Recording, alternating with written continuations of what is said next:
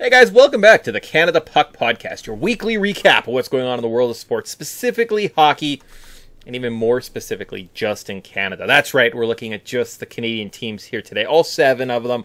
I'm your co host, Mik, and I'm joined every episode by lovely and talented co host. Grant on Twitter at Fourth Line Sports. That's pretty pretty good for not knowing a pen was coming. So Yeah, that's on my, on my toes there. that's it. But we don't need to talk about pen catching. What we need to talk about is Mik's actually fucking stunning Auston Matthews esque mustache. As soon as you turn on your video camera, it's like, my God. My God. Yeah. Auston Matthews would be proud of that thing. I attacked my face with a dull razor yesterday for a good like five minutes to pull this bad boy off, so you're welcome, Internet. So good for you. I obviously don't. I lack that commitment to a clean shaven face. and I once bought. Where do you buy your razors? Grocery store, just like everything else in my life. Buy it for my no frills. Need a pillow? Sometimes they have pillows at no frills, so Damn, no frills. I didn't know they did. They crossed those barriers. only if I need one. They provide. well, I got okay. Maybe I'm looking in all the wrong places for pillows, but I'm going to start spending more time there. Costco for me. I bought razors because they're so much cheaper. The absolute cost is more, but you get like 100 razors. Yeah. I brought in this bag of, I think it's actually like 40 razors. Like it's a whole shitload. I brought it in one day. I had a brother-in-law was staying staying with us, and he's like, "Oh yeah, how often do you have to buy these?" I was like, "This is the first time I bought 40 razors in probably like five and a half years, and I still have like that was two years ago, and I probably still have at least 30 of them. So, hmm. Anyways, if you want a not dull razor, we can share. Cool. I'll give you. I'll, I'll even give you the one I don't use on my balls. Nice. That's nice of you. That's good old ball chins. Not bad. Uh, this is your first show. We don't just talk about razors, although personal hygiene is important. People, you should take care of yourselves. We, I think I have a light out behind you and a fan in the way. Can't even see my maple leaf picture. So sad. What what is this show becoming? You see boxes of wine right here too. Like what is what is happening? Ah, we You are. got into it last night. Oh no, Tamara's family makes it. Like literally underneath is like all just boxes of wine. Oh, I see. Okay, I see it now. Yep. Okay. Yeah, we I thought it was one of them classy drunks, but it's actually a really classy drunk. Like, oh yeah. great stuff. Oh my like my air hockey table's literally f- filled with wine. So good times. Uh, this is your first show. We're going to talk about standings. We're going to talk about the week that was for the uh, Canadian teams, kind of since we last spoke. I think most of them are like one or two games, so nothing crazy. Uh, we're going to do some gambling advice. We don't do fantasy advice anymore. I think we're going to look at some boobs. I have a lot of cards sitting on my desk at the moment, so maybe even we'll even check those out. I don't know. See what we get to. I don't know if we're gonna have enough time. We'll see. We'll Don't see. know. I what we usually do is we go standings. We go reverse order. Uh, right now, it's like less interesting because again, some teams have played five, some some teams have played three games, so the sample size isn't great.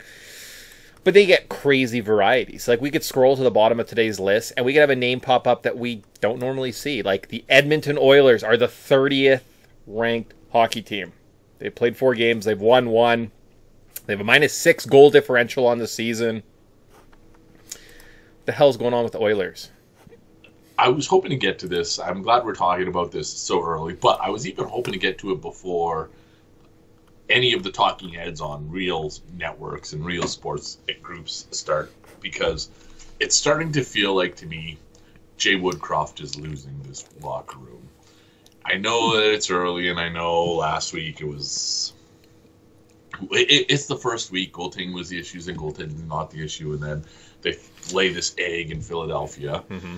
I think hockey players get to this point in their careers where it's just like they just get tired of listening to the same refrain. Whatever's working Yep. was working, no longer appears to be working. So I'm not convinced that the Oilers are or Jay Woodcroft is the guy to lead the Oilers to the promised land. And I'm not saying there's a better coach out there, but from the outside looking in, I'm just, like, you get fucking toasted in the season opener, Mhm. eight one. You kind of bounce back a little bit with uh, more inspired effort, but lackluster goaltending. You finally get a win, and then lastly, you just fucking lay another dud against the Philadelphia Flyers. Maybe they're just tired of listening to what Jay Woodcroft has to say. Interesting. Cool. Yeah, I watched a little bit of the Flyers game. Very uninspired hockey.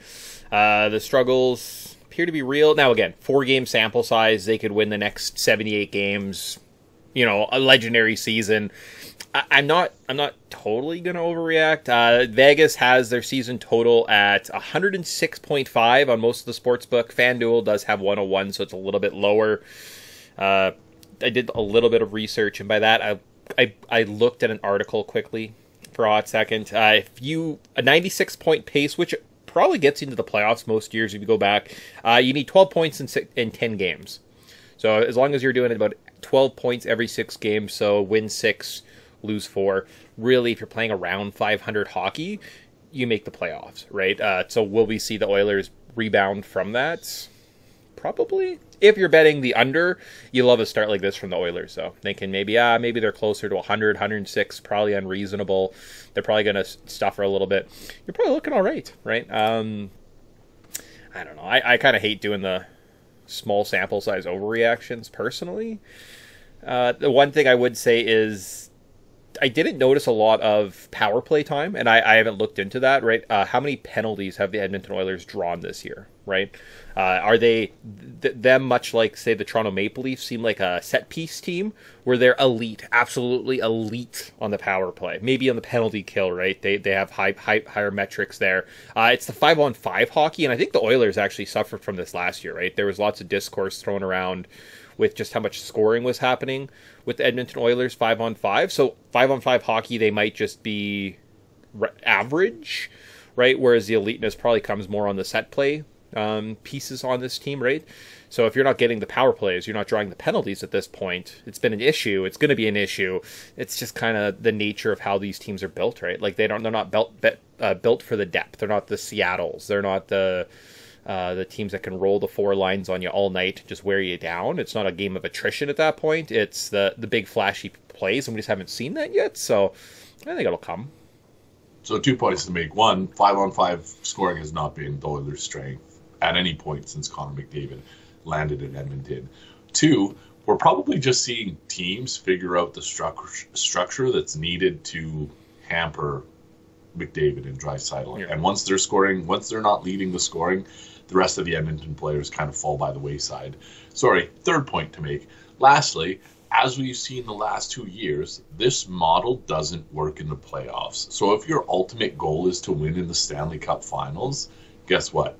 Either do something different on five on five because or change your head coach is really what it boils down to for me and we know the standard play the penalty standard changes in the playoffs. So if Edmonton can is starting to not figure it out in the regular season, I can't even imagine the disaster that awaits them in the postseason. So for for the time being, I think some meaningful changes need to take place. And I think what we're going to start hear, hearing is more and more people talk about how Jay Woodcroft might not be the guy. Uh, yeah. Okay. Cool. Awesome. Uh, I maybe will echo those sentiments in like two teams. So cool. Uh, wanted to get that out of the way. Oilers. I think we're done. I think we just move on to the next team. Again, kind of early. I was gonna. I, I, have like highlight packages I was gonna play as we're going. Uh, maybe when we talk about the next team, uh, they happen to be 29th. They're absolutely destroying the Oilers, and they might destroy them later tonight. It's the your Winnipeg Jets. They've played four games. They've won one. They've lost three. They have a minus six goal differential. Vegas had their season win total at 91.5, 92 points. So about 92. Uh, so slightly under the pace of that 96 that I'd mentioned earlier off the top. Uh, and outside of one or two. Now, going back and looking at season totals was kind of screwy because COVID did wreck two hockey seasons. So going, you have to go back about five years to get like a three three year sample size. 90 points worked uh, in, in 2019, uh, and last year 92.5 would have got you into the postseason. So uh, the the set or the, the, the Jets are about there. Uh, anything going on in Winnipeg that like we didn't suspect? Something that we're like, what? I can't believe that they're terrible. Truthfully, I haven't even I haven't invested a whole bunch of time watching Winnipeg or seeing what was going on. I think this is a I don't know why it happens. I don't know if there's a psychological explanation for this, but I know that like sharper people than me would be very quick to dismiss this. But it seems like after people sign big contracts, they're like, well, that's it. my work here is done. And the Jets made the mistake of having signing basically their their two biggest names to long term contracts at the start of the same season. Doesn't matter how they do; they're they're getting paid. I don't know if this is them getting old. I don't know again if this is the team falling apart and just like I don't know what changed over the course of the offseason that made this te- these players go from um, oh yeah, I want to spend the rest of, or I need to be traded right now too. no, I'm actually going to spend the rest of my careers here. So I don't know. I actually don't know what's going on in Winnipeg, and I don't think I've invested enough to, to figure out what it is. But the timing of the contract seems a little curious, and maybe this is just a flat year for the Jets. Well, good spirits like Heinola, my man Ville Heinola. He was supposed to be the breakout last year. He was taking the Stanley Cup. Apparently, he's got an ankle injury. Uh, that's it. Uh, Villard, Vilardi uh, has apparently 46 weeks with a sprained MCL. So they've had a couple injuries too, right? And on a team that's running uh, I'm thinking they're getting closer to that kind of Seattle model, right? Uh, more depth, less kind of superstar power, right? That's kind of what they seemed like they were doing, especially with that Pierre Luc Dubois trade. Um, so like now you're missing a piece from that. So all of a sudden now you're you don't have the depth, right? You don't have the resources. That's gonna be some some rough nights. I see they lost to Vegas the other night. I mean, Vegas seems like a pretty good squad. Like they haven't slowed down a little bit. Uh, institutionally, they seem like they're running pretty strong from last year's like postseason. So I don't know if that's a big big warning flag. I'm not sure who the other even who the rest of their schedule was, who they played. So let's take a look at that because I was just wondering the same thing. In my mind, they played all four games at home, and I was mm-hmm. like, to start that way at so home. They, they lose to the Flames in the opener. Uh, they're at in Calgary. Then they went. Uh, they beat the Panthers, lost to the Kings, lost to Vegas. So four playoff potential teams that you've lost to. I don't know if I would say the sky is falling in those cases because, like, the Kings are in theory like probably pretty good, right? They have some pieces. The Knights just won the cup. Uh, the Flames or the the Panthers were just in the cup. I, I think the Flames are a little friskier. I actually don't know if I want to put the, the term frisky on the, the Flames, but uh, so I mean, it's not like it's the easiest. Uh, they get the Oilers tonight, but then you're looking at the Blues, Red Wings, Canadiens. So in theory, barring tonight, independent of what happens tonight, you should get like two, three wins in the next couple games after that. So here's a concerning, maybe yeah. So they've given up at least four goals in all four of their games, and three opponents have notched five on them. So they needed six goals to beat the um, Florida Panthers for their only win. Mm, a little concerning. If this te- this team is premised on success from Connor Hellebuyck, and even if he's average, I don't know if things are going to go go well for the Jets this year.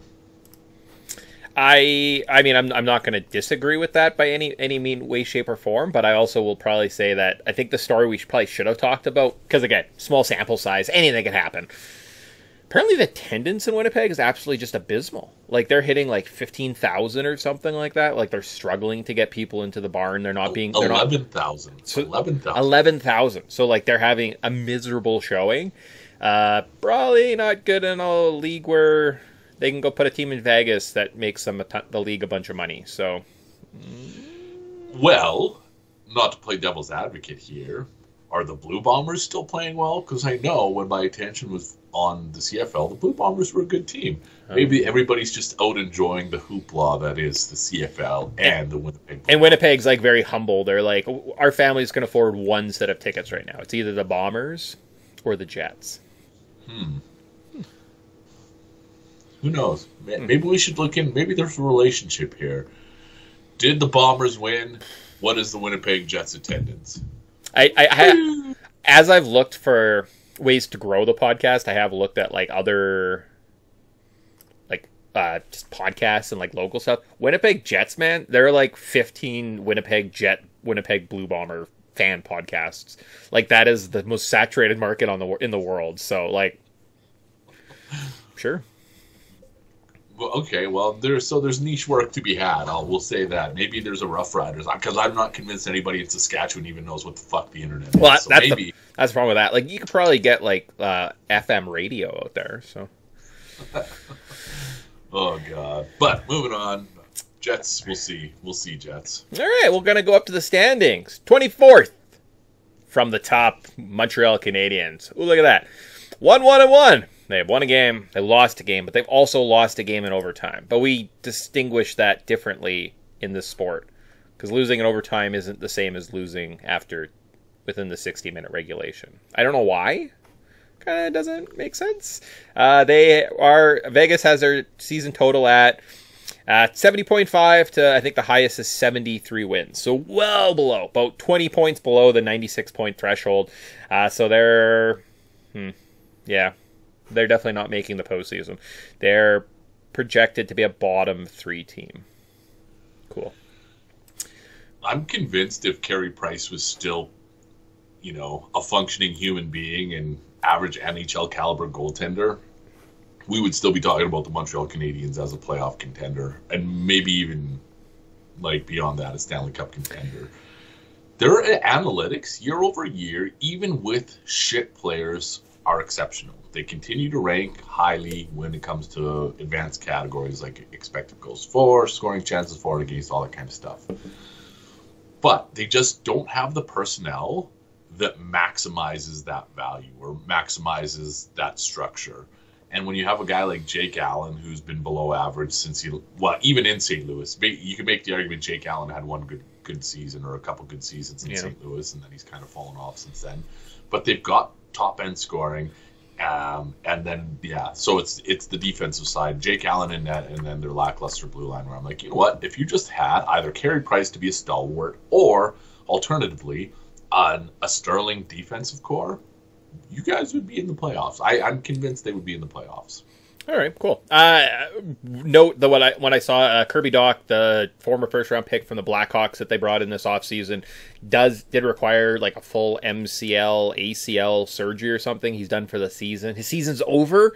Uh, this was going to be one of their big stars. He was going to come in. He was going to work kind of as one of the top uh, four guys potentially on this roster. Tons of experience. The sky was the limit. So kind of heartbreaking that they've lost him. Right. Uh, hopefully he bounces back. Uh, it's going to give a little bit more credence to this team bottoming out. So your defense is terrible. Jake Allen is questionable at best, and your defensive or your offensive core, which was eh, thinnish, got a lot thinner. So just like that that movie about that weight loss guy, thinner. Which movie's that? It's like a Stephen King. He gets cursed by a Gypsy to just like become really thin and die. Hmm. Thinner. Don't mess. Is with... it like classic '80s Stephen? Yeah, I Stephen think so. King? Like maybe early '90s. It's yeah. Okay, I know exactly. I have the theme. I'm gonna look into this. Right. Chat. Maybe our next podcast will be a Stephen King. A thinner early podcast? '90s. Yeah. yeah, we could we could scare Grant. We could watch a couple scary movies. By God, just embarrass me on the internet like that. Yeah, me and scary movies. Main scary movies. Uh, with okay, yeah, Montreal.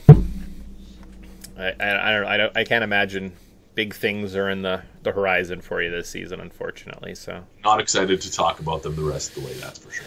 Uh, you get to like play upset and spoiler and beat the Toronto Maple Leafs. How, how many times do they meet now? Like six. You get to probably beat the Toronto Maple Leafs four times this year. That's kind of exciting. I mean, but I didn't even share this with you. But before we actually started recording our podcast, um, the Leafs played the Habs on the second night of the season and like everybody and their dog was talking about how this was going to be a cakewalk for the Leafs. And I immediately went back to our conversations last year where you kept saying, "We actually don't think about you," or that was like the the mm-hmm. terminology. Anyways, I yeah, it's the meme, the the Don Draper memes. I don't think about you at all. Yeah. So, anyways, I was like, either the Habs are winning or this game's going into overtime, and I actually sent it on set settled on overtime. So, thank you for sharing that meme with me. Nice, solid. Yo, yeah, I, I, I think I was also on that side where I was like, eh, I don't know if it's gonna be that close. Uh, PuckDoku, we forgot all about it. We got, did three teams. Uh, we got four more to go here, but we're flying, guys. We're absolutely just flying today. So we should take a time play a little PuckDoku here. So, Grant, have you looked at the PuckDoku grid for the day? I have not. Let me pull it up here. Like I don't even know why we're doing this. We might as well just walk right now. Uh, so along the top, we've got uh, Florida Panthers. Nashville Predators, and then 20 plus playoff points in their career. Uh, down the side, we've got the Wild, Avalanche, and the Blues. what a bunch of nonsense. 20 plus career playoff points. Okay, well, there's one that comes to mind for um, Minnesota right away. Okay. You got? Mm, Actually, I take that back. Now I'm starting to doubt myself. Let's go to the Avs. Let's go Avs 20 plus Okay. pl- playoff points. This isn't going to be, I mean, it's got to be Joe Sakic. Joe Sakic got to have more than 20 playoff points in his career, does he not? Sure does. Boom. Uh, Minnesota Wild. So the first name that came to mind was Zach Parise. but I was like, did Zach, did Zach actually make the playoffs? Because I know that he came from New Jersey, and New Jersey was a dynasty. But Yeah. then I don't know if he's been to the playoffs a whole bunch or enjoyed success with the Wild since then. So maybe it's not. You guys that have touched there that have moved on. Yeah, that's a tough one. Uh, same with the Blues. Like I. Gretzky, Gretzky's a fucking freebie. Hmm. Gretzky. Cool. Only five percent guessed. Hmm. So like clearly What? there's a more obvious pick. Brett Hull was probably the more Yeah, obvious. I was gonna go. I was gonna go Hull. That was like, and then you were like Gretzky, and I was like, okay, all right. Uh, anyone else that's like randomly touched the Wild? The Wild are only the Wild. They're not like another team. Oh, maybe Eric Staal. Eric Staal's had he went. Oh yeah, yeah, absolutely. Eric Staal. Eric Staal's like the best player in this game because he's the guy that played on all the loser teams. Like he had a stop in Florida, Buffalo, Minnesota. It's great. Carolina. Like he's the perfect loser guy that just like inter hits all these intersections. Like oh yeah, cool. Was it right? Four percent. Absolutely nice. annihilating that column. Uh, let's maybe move on to another team and we'll come back. Uh, we need to get to 21st from the top. Look at that. One point better than the Montreal Canadiens, those French losers. Mon- the Toronto Maple Leafs. They're 2 and 2 after two games. Uh, lit the world on fire against Montreal, Minnesota, and then just kind of got outplayed, uh, outchanced. Didn't have their shots against Chicago, that the powerhouse Chicago, and then Florida the other night. So So I didn't look into the Florida game. Tell me what happened. uh, I did not watch it myself. Uh, it looks kind of just like uh, it was a chippy, gritty game. There was a couple missed penalties potentially, a couple power plays, uh, one or two errors just kind of through the some of the newer players, the guys that are kind of catching the fire online. Um, I think that was the game. Guys just didn't get going. So So analogous to what we're seeing with the Edmonton Oilers potentially, where It- it- my my my point about this is a set piece team. Like when they're on the power play and they've got the four stars out there, the core fours on the ice, they're very formidable. Now, when you start playing the game of well, they didn't get this power play called, and look at this and look at that. That's kind of how the playoffs have gone for this team as well, and they're a special teams play. Like I, I said, I call them like set pieces.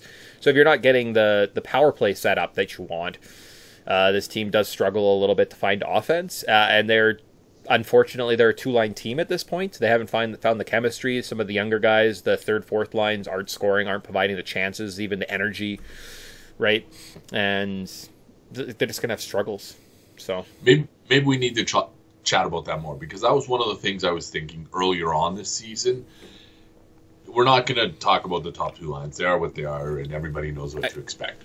But with their bottom two lines last year, Toronto was exceptional. Their bottom two lines over the last few years, Yep. and not that they had an off season of change, but they did bring in a few few new players. Like Reaves slots in back down there, hmm. Domi slots in back down there. Did they potentially negatively impact their bottom six with these off season changes?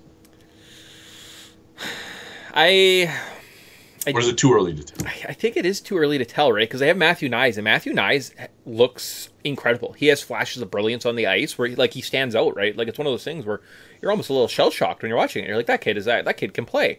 Uh, he took a he drew a penalty at one point that that resulted in a Florida goal for just being stronger, right? It was I think it was an interference play, and if you go back and watch it, he just the guy runs into him and he falls down, and you know, and like most guys would like bump off of him, but Matthew Knies is just standing there, and the Florida player runs into him, and he draws an interference call. So I don't know, like, eh, am I gonna criticize a kid for being big and strong? Probably not. Uh, so once those guys get going, find the right chemistry. Uh, there are some definitely some question marks on the back end that are going to be, I don't know, I don't know how they're going to figure that out. Uh, and then you've just also seen a big step back from their defense this year, right? Uh, we saw that last year where the, Toronto's defense was absolutely terrible, and then they lost Morgan Rielly, and the sky was falling.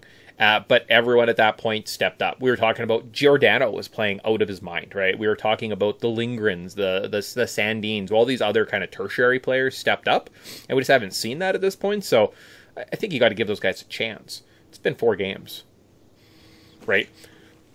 Fair. And Uh, the, so the, the first two games, like, you want to talk about high scoring? Like they beat, yeah, they beat Minnesota, whatever, eight, eight to five. They still gave up five goals. Like it was absolutely just bonkers. And if you're going to play that kind of that high pace, fuck the defense kind of style hockey, you're going to get your dick caught in the door sometimes, right? And like sometimes and then if team decides not to play that style of hockey against you i think that's what happened with chicago was they're like no we are we are maintaining the puck we are not letting you get these chances we are going to just stop that part of the game uh, i don't know if they made the corrections in time right and sometimes you get caught so I can assure you, I do not have any problems with my dick getting caught in the door, and I have to be awfully close for that to happen. oh i yeah i, I don't know exactly what that expression refers to so Somebody had a terrible experience. Oh, That's yeah. what it refers to. yeah Uh, but so what? What cued this uh, thought about uh, maybe the bottom six? You know, chemistry's a little off. Ryan Reaves had to go with I can't Arber Xhekaj. They call him Wi-Fi. Yeah. that big tough guy Yeah. uh, the Habs to start the season. And historically, that was not a.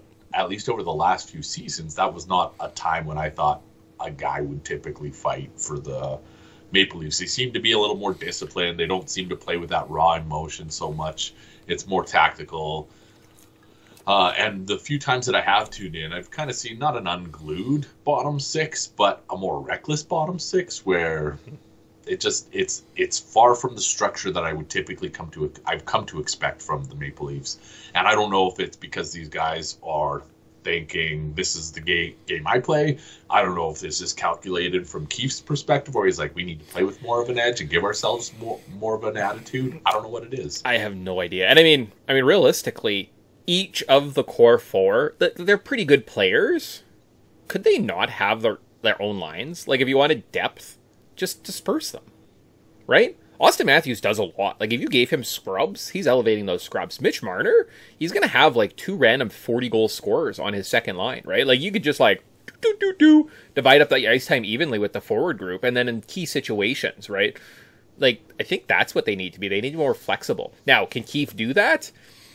I don't know. And much like your Jay Woodcroft comments with Edmonton, I'm almost like I kind of feel like that's the big move they should have done is just bring in someone that, that can be a little bit more flexible, like an in-game manager, right? Somebody that can shift lines a little better. Because Keefe kind of just seems set to be like, nope, nope, nope. These are the lines. This is what I submitted. The refs will be upset if we if we if we change this up. It'll really get with the linesman. So like we don't want that. Look no further than Michael Bunting for validation that Auston Matthews makes everybody a better player. What does he get paid these days? Was did he get Four a and a four million dollar half. I think it was four and a Four and a half. Good God. Bertuzzi, he like Bertuzzi almost got the same thing, so it's just absolutely ridiculous. Now, I mean, also we're looking at this team. John Klingberg can't play defense. Guess what? There's all these highlights of him not playing defense. I'm like, I, what, what were we expecting, guys? Like, I don't know. I'm like, Yeah, well, guess- it was four million dollars. I think defensemen just cost a fuck ton of money right now. I watched a little bit of. Oh, are they our next team? Nope, nope. Uh, Buffalo the other day. Buffalo, Calgary. I don't know if Rasmus Da- Dahlin. I realize it was one game that I watched, and I haven't seen a lot of him. I don't know if he's worth eleven million dollars this season. He's like Carlson, Erik Karlsson 2.0, Erik Karlsson Jr., or like version 2.0, where he's just not quite the same thing, but people expect him or want him to be that thing. I think they're paying a lot for like the potential, and I'm like, mm, okay, all right. Yeah, uh, we'll see. We will see with uh, how how things sh- change in Toronto because I do think that this team isn't as bad as we've seen. I think we're both confident making that assertion, uh, but I do think something is also not working with in Toronto, and I don't know what it is. I don't know if it's bottom six chemistry. I don't know if people are tired of listening to Keefe. I don't know what it is, but Toronto isn't playing with that same gusto that I've come to expect from them. Yeah, like they have a bit of a road trip. Uh, again, something will happen. Uh, 14th. So we're in a playoff spot now, guys. Look at that. Vancouver Canucks. Oh, wait, we forgot to talk about the Leafs. Uh, Vegas had them at about 106, so same with the Oilers, similar to the Oilers. That's kind of what we kind of expected. So, uh, slower start, not not terrible. Uh, Canucks, on the other hand, Vegas has them at about 90 points, 90.5, 89, which is probably below the threshold for the playoffs, but darn close. And that's what I was saying. Two or three games, that final stretch, uh, we're expecting them to kind of, that's where we're expecting them to finish. Uh, be at the end of the year thus far, they were 2 and 2. Basically, they beat up the Oilers.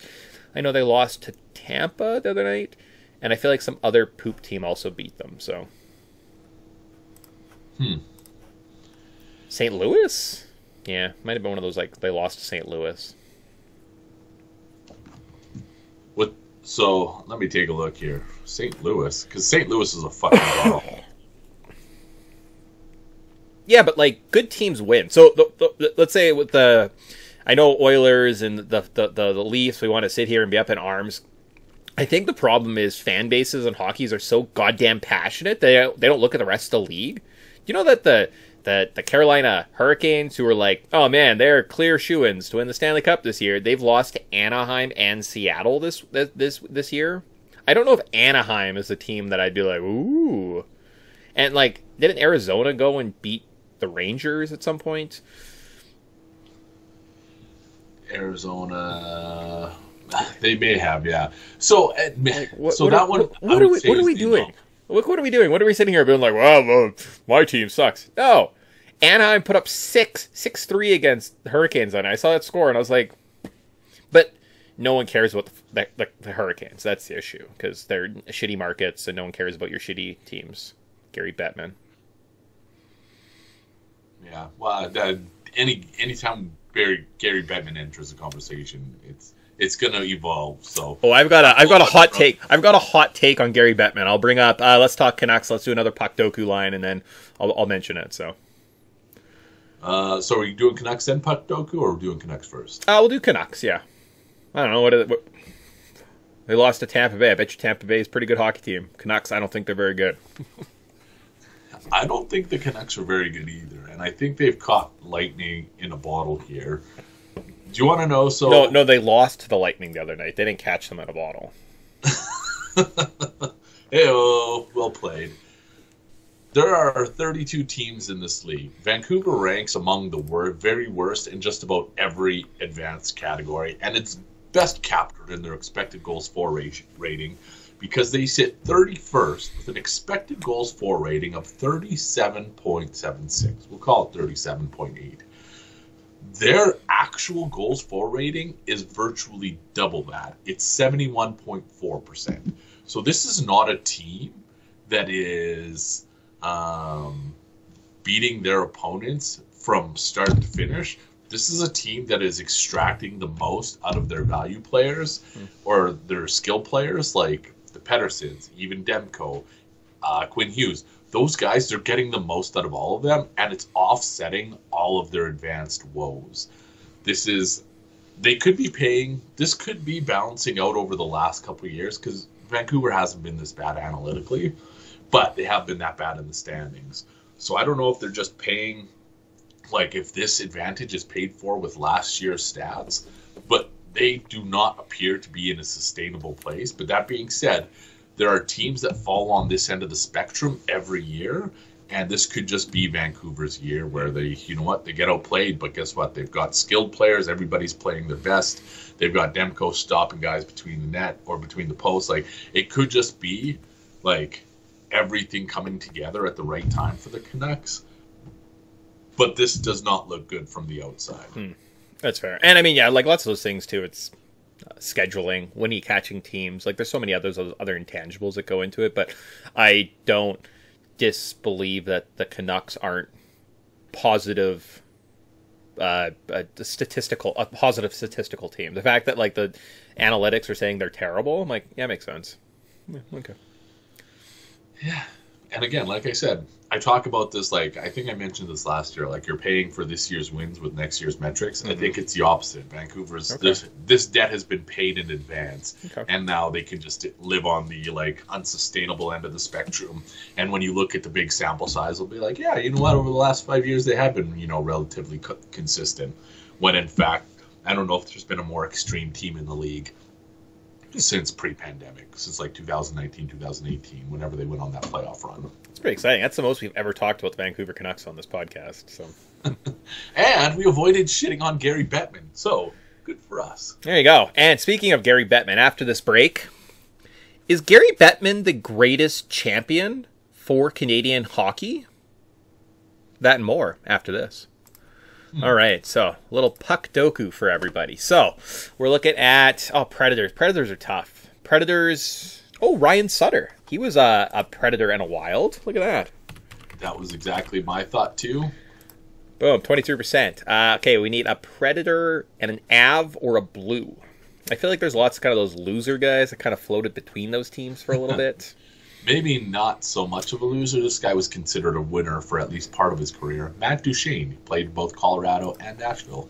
The greatest loser ever. Anywhere he went, they got the first overall pick for a little bit. 28%.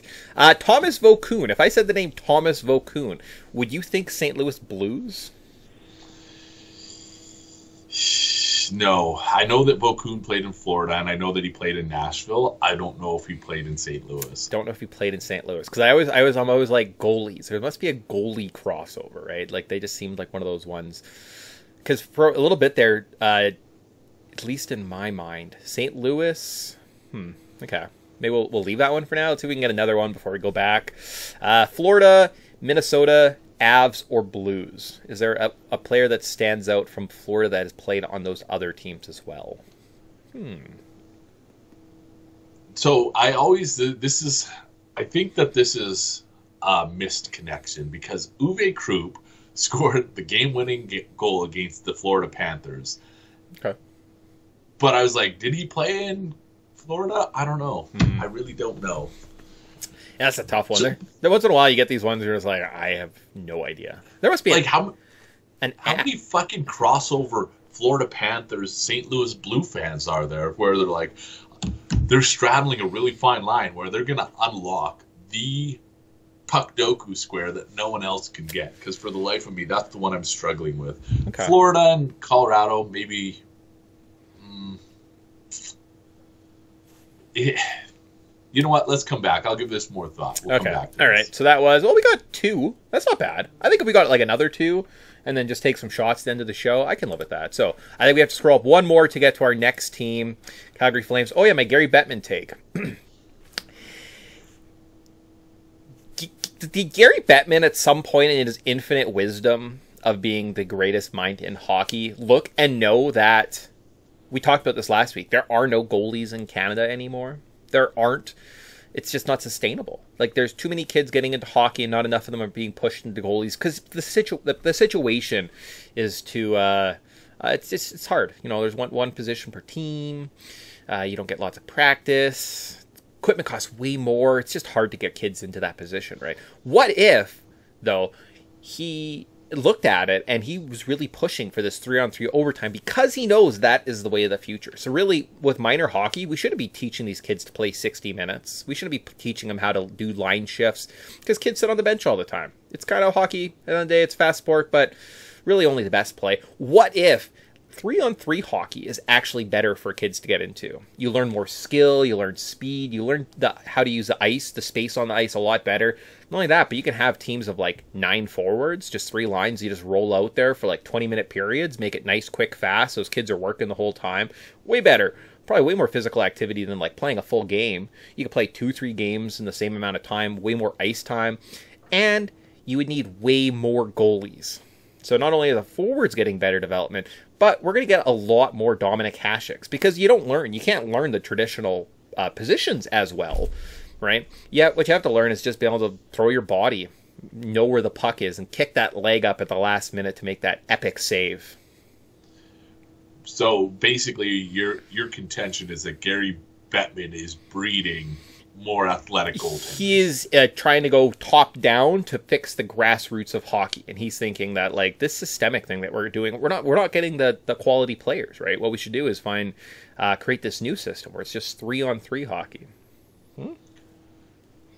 I will say this because I Brian Burke had this take on Gary Bettman, and I guess those guys, you know, that doesn't surprise me. But Gary or sorry, Brian Burke said that Gary Bettman sees anticipates down this downstream impacts better than anybody anybody else he's ever worked with.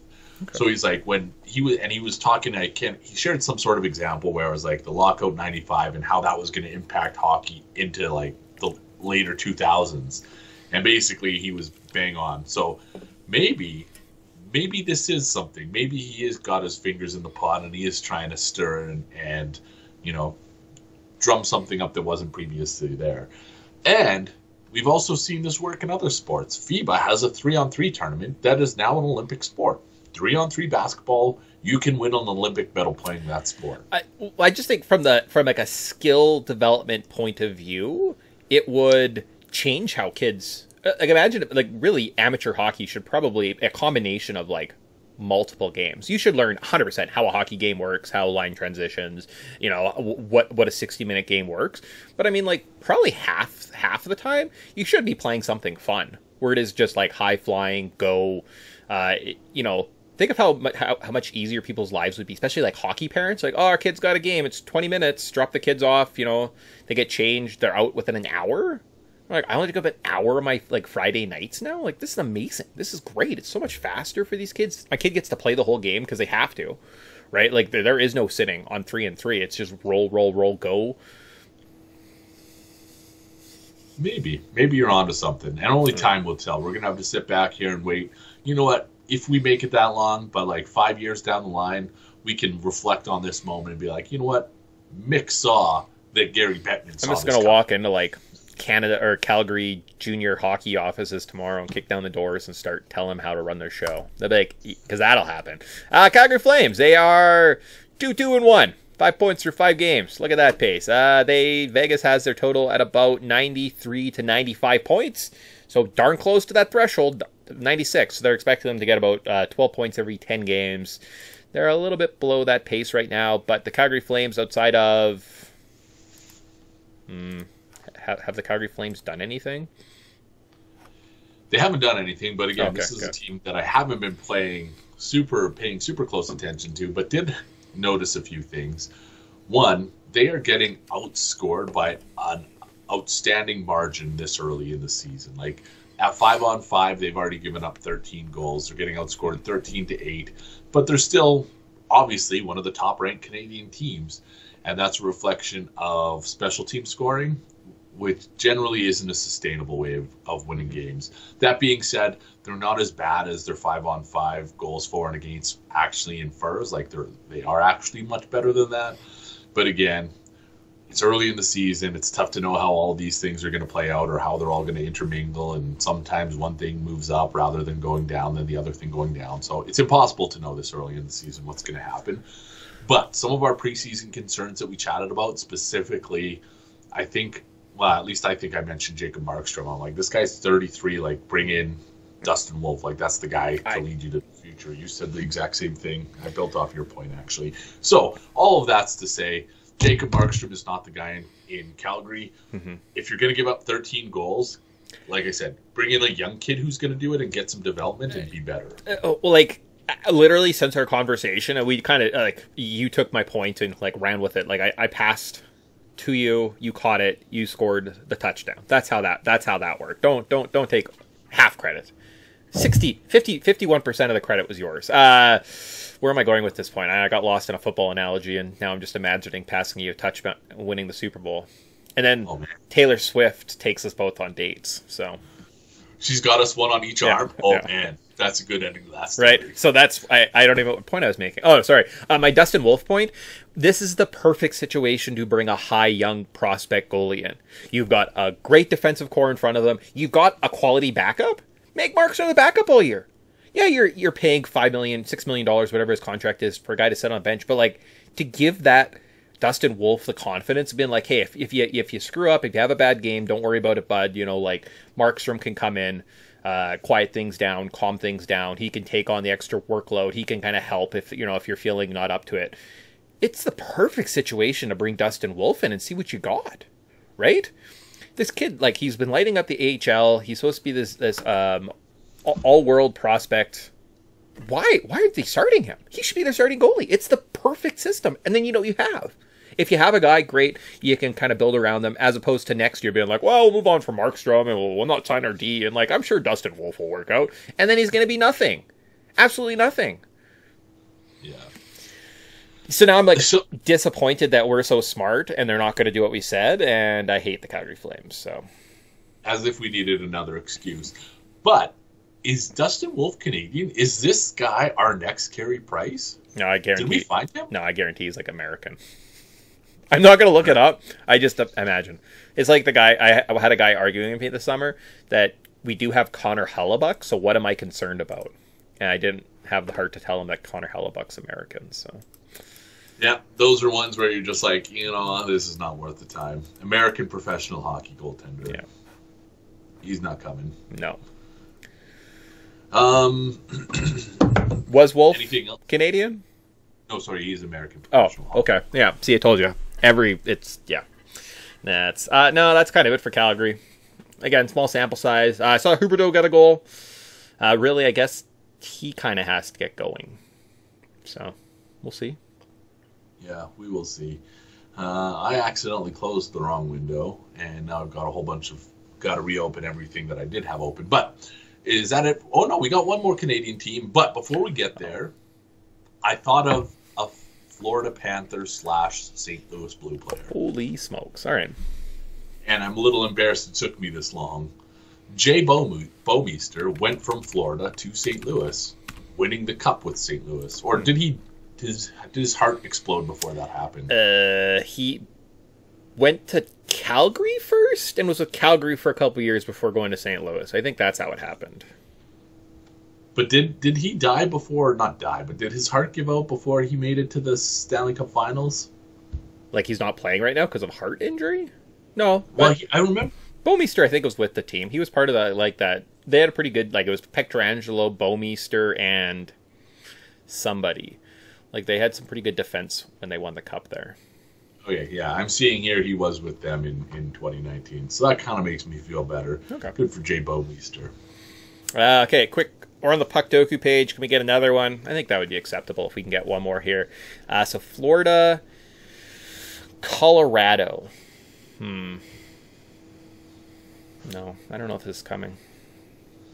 I still think my Thomas. I still like Thomas Vokoun. I, I'm going to take that as like our last shot uh, for a Predator. I'm pretty. I'm, I'm, I'm pretty confident of that one. So Uh, I'm just trying to because I like I always like the goaltender angle too. Devan Dubnyk played. I don't think he played in Florida. Mm. He was picked up by Montreal briefly. Uh, who else was a, a notable? Manny Fernandez. Did he end up playing in Florida? I don't know if he did, but I like a Manny Fernandez too, or Manny Legace. Ooh, did Manny Legace? Uh no, damn it. Did Manny Legace play for the Predators? Yeah, he did. Oh no. Anyways, we gotta we gotta fill the spot. It's somehow. it's yeah, it's Vokoun or it's uh, it's just really really bugging a guy when you can't figure that out. Florida Panthers. Who's just who is in Florida? Do they have a guy right now that just played for the Predator or for the Colorado? Mm, This is good content right here. Two guys. all right, we'll we'll come back. We'll come back. We'll come back. Uh, we got to talk about the Ottawa Senators, guys. Four games played. They're three and one. They're lighting the world on fire. No one can stop them. They've got a plus nine goal differential on the season. Ottawa Senators are flying. Uh, Vegas has them at 93, 91 points on the season. So will they eclipse that total? Maybe. Probably. Things are trending in the right direction. You got to think if you get to 93 points, you're making the playoffs for the Ottawa Senators. Mhm. So it'd be a good spot to be in. And you and I, we've watched this team. We didn't even just watch this team develop. We watched this team get torn apart, rebuilt, and then develop over the last eight years. I think we were both in agreement last week. This is the time for the Ottawa Senators to shine, and we're starting to see it play out. Yeah. They also, we can't look past their schedule because they started on the road against the Carolina Hurricanes. Tough game. Yep. They made Sure. the most of it. Good for them. Then they play six in a row at home. They've won the first three. Game four goes to well, actually this morning. That's a good spot for a young-ish like team to be in, where you get to, you know, um, sharpen your teeth at, on home ice, getting comfortable with those advantages that home ice brings. Um, you know, line matching, home ice crowd, staying comfortable in your own home. Th- these circumstances favor the Senators this year, and if they can build momentum early, inevitably it's 82 games are going to fall off. They're going to have Mhm. bad stretches, whatever. But if they can get off to a great start, they can carry this momentum well into the season. Uh, well, and I did see that they have um, the, Josh Norris is returning, right? So that's an additional fire piece, right? Uh, like a three a line two or three kind of player for them. Uh, can play up and down the lineup, add some offense, right? So that's going to be a big piece, right? That they've got kind of a kid like that just kind of sitting in the wing. So his return is huge. Although, was there an injury? No, there. Hmm. Anderson was signing. Okay, so far they've been healthy. Maybe that's what I was thinking. Uh, yeah, so Josh Norris uh, came in, scored against the Senators or the Capitals the other night. So uh, big, yeah, big return there. See what happens. I yeah, and these teams, the teams that they're beating, are teams that historically have been much better than them. Like Mhm. when you beat the Bolts at home, good for you. That's awesome. The Caps, I'm not convinced the Caps are the team, the powerhouse they have been in years No. past, but to to be able to hamstring them and like actually thoroughly dismantle them, Mhm. great. This is a good look for the Senators. I'm really happy as a secondary fan of the Senators. Very happy that things are coming together for them because it's kind of hard not to endorse that brand of hockey Mhm. where they do everything. They play tempo. They play. Brady Tkachuk plays with an edge. They've got sexy defensemen. I don't know. I, I'm on board with the Sens this year. I, I think health permitting, I like like where this team is going. Uh, now we've seen with the Ottawa Senators and their medical staff that when injuries start compiling, instead of the doctors fixing, they'll usually take crowbars to other guys' knees to kind of be like, "Wow, this one isn't. Look, I didn't screw up the surgery that bad. Look at this guy's leg; it's really screwed up." So I don't know if that's the best approach with your medical staff. So yeah, health sustaining, um, they should be all right. Although I did like, I do like uh, them. I do like Detroit. I think I saw Detroit was a pretty good underdog. I don't hate the revenge game of DeBrincat coming back in. He's been playing pretty good hockey. Maybe putting a statement, uh, giving the Senators a run for his money this morning. I was thinking about this one too because Detroit's no slouch, and they're kind of I don't they're kind of coming from cut from the same cloth. These Mhm. teams where you've got young players developing. Sens are ahead of the the Red Wings, I would say. But when I was looking at the betting line, I was like, man, I don't think the Sens are that much better than than Detroit. No, absolutely not. Uh, so I was going to pick that one, but I was, I was I'm a leery about that 11 o'clock game because we're like we're, it's on as we're recording. What kind of advice is that? Yeah, And then by the time it takes things to process, like the game's over, we're up, and we're like, oh man, like that line. It's always I'm like that seems kind of suspect. So, so I did avoid it, but yeah, all in all, uh, Sens are flying high. Uh, see where the season kind of takes them here, and Tarasenko. I don't think we even mentioned that last year. Bringing in Tarasenko, five million dollars per season uh, to replace DeBrincat. Good, great. Health is definitely a question, but that's kind of just the Ottawa Senators in general. So I feel like bringing in um, injury-prone players will have no negative side effects to their season. yeah, we'll see. Enjoy, I actually enjoy what's I do it's like here. I, I like Tarasenko. Yeah, he's fine. Yeah, absolutely, he's fine. All right, good. That wraps up all of our teams. That means that's it, guys. We have to talk a little gambling. We should probably try to finish this PuckDoku. Go through there. Look at that, 50 minutes. Normally we talk like, remember headlines used to take like 20 minutes? lots of i think more awareness i would say when Hmm. it comes to canadian teams there was a time that existed where we were more like wholly invested in just our team's outcomes but since we started doing this i have been taking more more of a Mhm. liking and dislike to some teams Mhm. across the country so um, you know it's easier to pick up the mic and talk a little bit more without question headlines was one of the ones where i was like oh here we go we got to talk about the fucking vancouver canucks again no longer. I actually like shitting on the Canucks. I was now. gonna say, I was like, I still kind of feel like that, but I just have a take a positive spin. All right, so I got PuckDoku up. Uh, we're gonna talk a little gambling. We're gonna see if we can hammer out a couple more of these picks. So come on, Florida. There must be someone that played in Florida at some point. I just okay. So So is this? Is- I'm gonna I'm, I'm gonna ask you a question now. Is this considered cheating? So sometimes to like spark my memories, I'll just pick a random date, like 2008 Florida Panthers, and I'll pull up their roster and I'll see. I was like, do do I, any of those names jump out at me? I'm like, oh yeah, that guy played there. Now is that considered cheating? mm, I will say resourcefulness is important. Okay. Uh, Florida Panthers. Any names that I'm looking at here that I'm like, oh yeah, that guy jumps out. Uh, boop, boop, boop. Cory Stillman. I feel like Cory Stillman did not play for those teams. Nope. Cory Stillman definitely played in. Oh no, we already filled the St. Louis cube. Yeah. Um, but Yeah, there, there's like several that I'm like, oh yeah, that guy played in St. Louis, and that guy played in St. Louis, and that guy played in St. Louis. Oh, and that guy played in St. Louis. Oh, and that guy played in St. Louis, and that guy played in St. Louis. Hmm. Yeah, I got nothing. Absolutely diddly squat. Craig Anderson. Did Craig Anderson play with the Avs? he may have. He very well could have. Hmm. I think he did stop there. Craig Anderson. All right. 6%. There you go. Good. Good job. Uh, so we need Florida, Minnesota, and we need a uh, blue and a predator. Why don't we get into some uh, gambling advice? So, what is your first of three picks that I guess you have? Because I also have three picks. I so maybe we'll recap last week. How did you do last week? I kind of Oh, did no, you like. didn't have. I didn't really Your- have anything. small futures. Yeah, I had futures. You? How'd you do? I went two for three. I guess technically two for four because my parlay didn't hit. But Sens covered the puck line at plus 180. And uh, what was the game that Seattle, Seattle, Nashville? Okay. Or was it Seattle, St. Louis? Anyways, uh, but one of my overtime picks hit for, I think it was 97. But then Oilers let me down against the Canucks. That game got close at the end, but it wasn't enough. So, anyways, I'm up 200. So that's a good start to the season.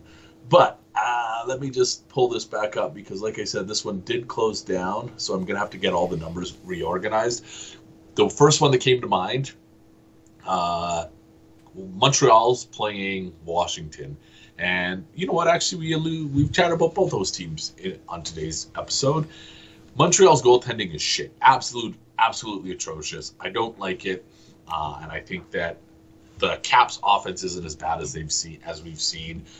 But Montreal's offense also can keep pace, and conversely, Washington's goalies just are absolutely porous right now. So the first first bet that I came up with, oh look at it, it's already preloaded.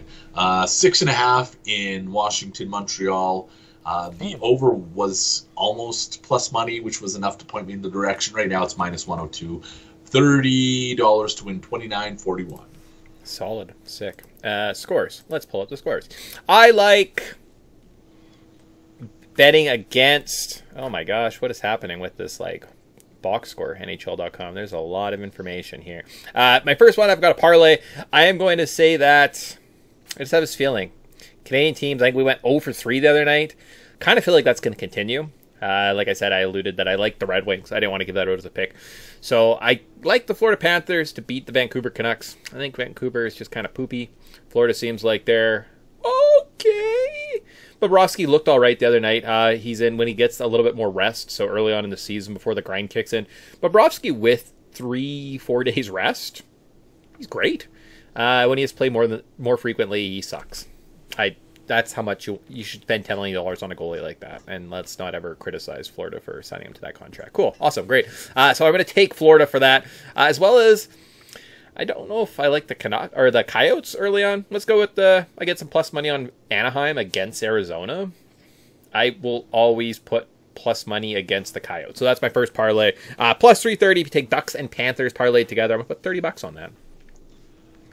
I, I kind of appreciate both those angles. Uh, my next play, the surprising New York Islanders. Actually, you know what? Eh, okay, never mind. I kept flip. I kept waffling on this one, and I was like, "Oh, is this game going to a shootout?" No, it's not going to a shootout. The New York Islanders have actually looked really good this year. Uh, they're off a sh- uh, shootout overtime loss against the Devils last night. They're traveling to Buffalo.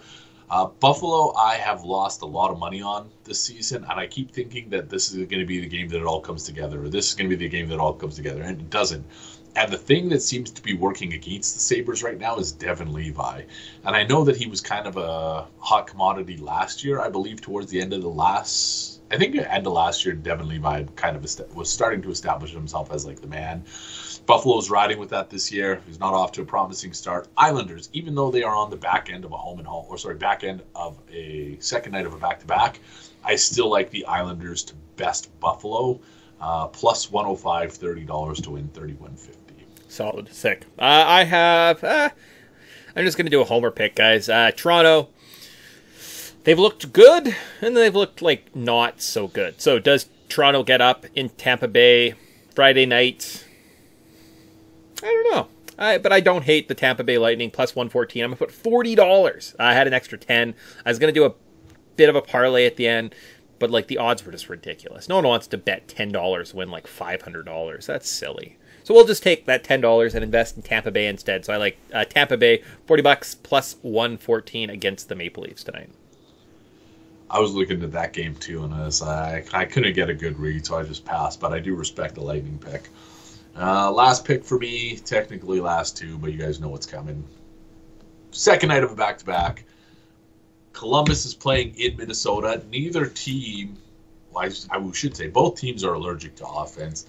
I think that this is going to be the first team to two wins, and I also don't think that the team who wins is going to be um, celebrating in regulation.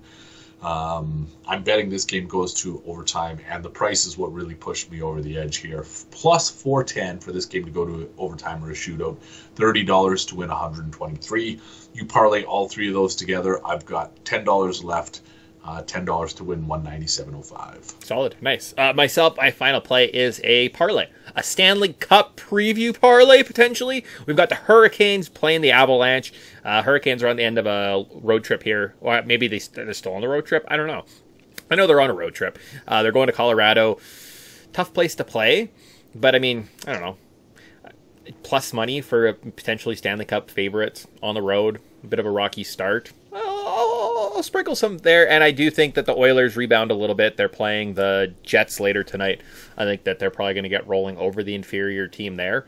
Uh, kind of put that stamp at the end of Hockey Night in Canada. We're going to feel good about ourselves Sunday morning, being like Connor McDavid is going to be okay. So you parlay those two together, you can get plus two forty six. Put thirty dollars on that.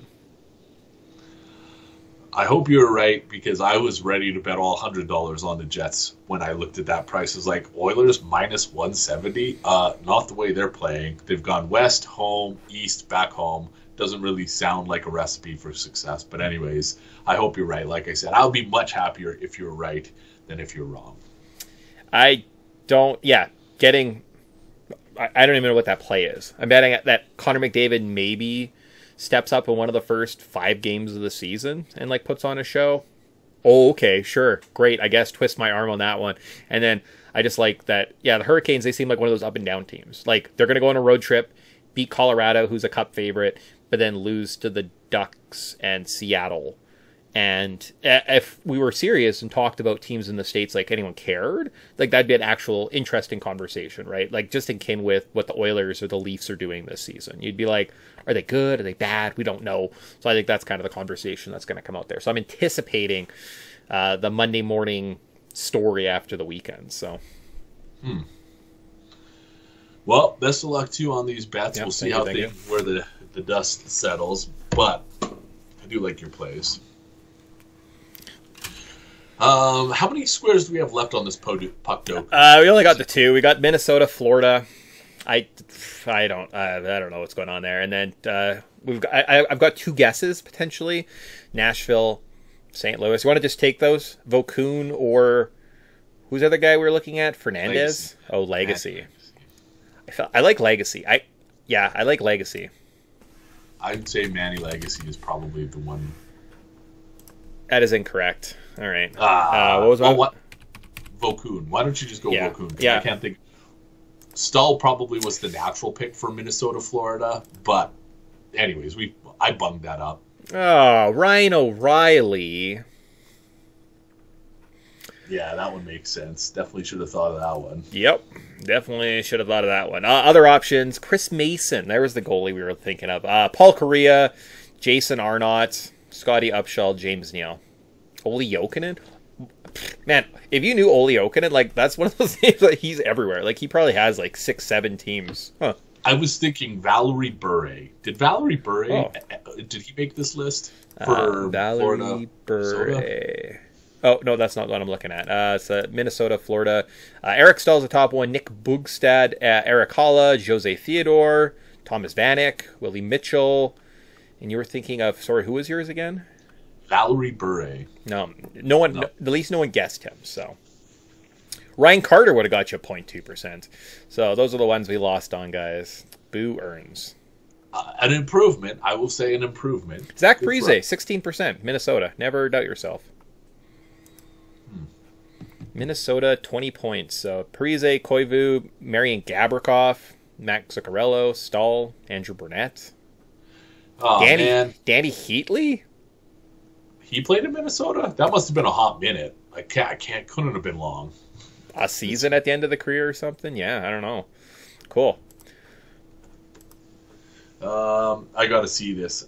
Okay, I don't know the answer. Over under sixty games. Dany Heatley with the Minnesota Wild.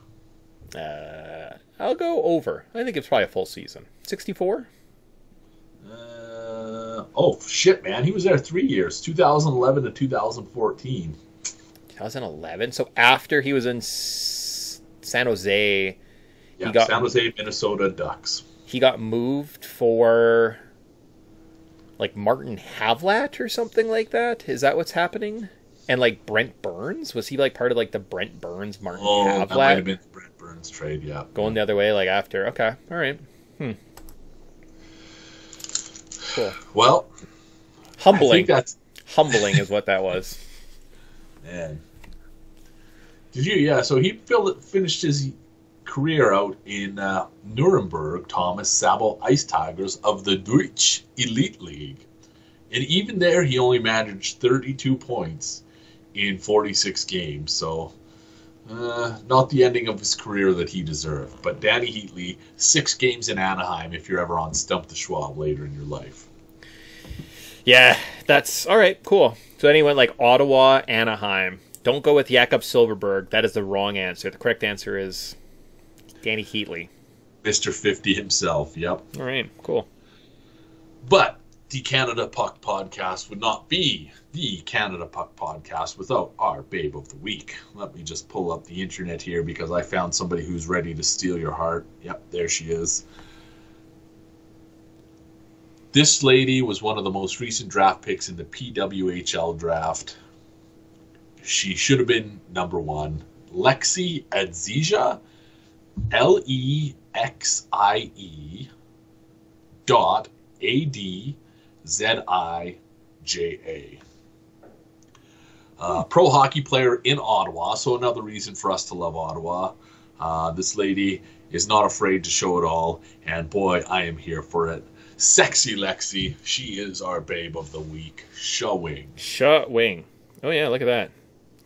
One of those very athletic builds. Uh, her butt. It's, it's meant for uh, uh, power, not pleasure. So that's my only criticism. A little bit of flat booty. You know what? Hey, we can't all be You can- perfect. We can't all be perfect, Lexi. You, can keep your criticism. I'm here for it. I'm here for everything Lexi has to offer. Schwing. Shut wing. All right. Well done. Well done. There you go. Look at that. There's a podcast. Uh, we're definitely back next week, and then I think I take a little bit of a break. So, cool. Yeah, but we'll be back for more overreactions to see exactly how the first three weeks have gone. And you know what? If the Oilers haven't won, imagine the clean shaven or the, the dusty razor that Mik used.